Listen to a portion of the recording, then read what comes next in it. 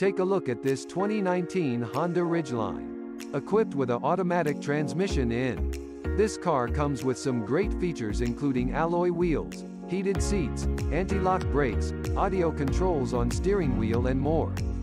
Come in and check it out today.